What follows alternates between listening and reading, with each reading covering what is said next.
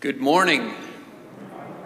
So today we come to the end of our current message series, and we've been talking all this month about what we're thinking and what it takes to change our thinking, to try and get on God's wavelength.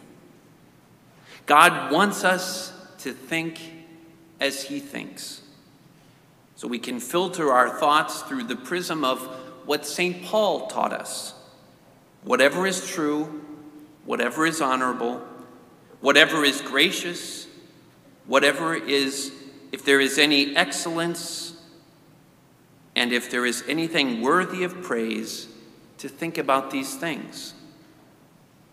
The goal is to grow to be friends and followers of Jesus Christ. So today we jump into our gospel reading and we hear that when the Pharisees heard that Jesus had silenced the Sadducees, they gathered together, and one of them, a scholar of the law, tested him and asked him, Teacher, which in the law is the greatest commandment? This is the moment from the final week of Jesus' life. It was Holy Week. And much of that week saw him in conflict with the religious leaders of his time. They were jealous and afraid. So by this point, they're conspiring together to trip Jesus up and to get rid of him forever. But they underestimated Jesus. After they had taken every shot at him, they can think of that there they've got one more opportunity. And this is the ultimate gotcha question What is the greatest commandment? Testing Jesus with the hope that this question will stump him and somehow his whole ministry will come tumbling down. Life and society in Israel were based upon the law, the law of Moses. And they had identified 613 specific commandments in the law. These laws were endlessly debated and discussed and defined and redefined by the religious professionals. Some said that all the laws were equal and must be applied equally. Others that there was a hierarchy to the laws that some of them were more important and some less so. But to ask this question suggested a vast simplification that no one had ever considered before. Perhaps because there was simply no answer to such a question until this moment in history. And Jesus responded, You shall love the Lord your God with all your heart, with all your soul, and with all your mind. This is the first and greatest commandment.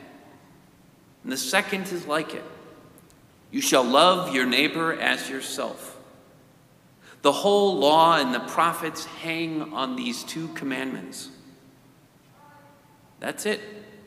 The whole law. All the laws depend on the most important law. And the idea of putting these two laws together was unthinkable. Not only did he do that, he tells them that all the other laws hang upon these two. In fact, they're all about those two. You shall love the Lord your God, you shall love your neighbor. The law is about living more successfully as God would have us live. And the only way to even begin to approach it, much less live it, is through the exercise of love of God that is given in expression in the love of neighbor. Everything that God has done in history and everything that He has said in Scripture come down to these two twin commandments, being the greatest command to love God and love our neighbor. To love God and to love another person ultimately means something quite specific. And it starts in your mind. Basically, we're talking about emotional health. That's what God wants for us. Jesus is describing the path to emotional health. You shall love the Lord your God with all your heart, and with all your soul, and with all your might. So, how do we do that? To begin, give God your attention in daily quiet time, in prayer, in daily scripture readings, and here at the Eucharist. Attention leads to affection. As we get to know the person who is Jesus Christ, we're learning to love him and ultimately leads to the care and service of one another. Accepting others, welcoming others, encouraging others, serving others, forgiving others. Following Jesus comes down to loving God and loving people.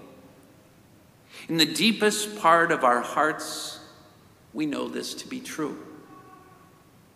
That's what's in our hearts. And to fulfill it and make it whole, it's got to begin in our head. Here's the bottom line of this message. What will be the bottom line for this series? God does not think like us. But when we think as God thinks, we do as God says.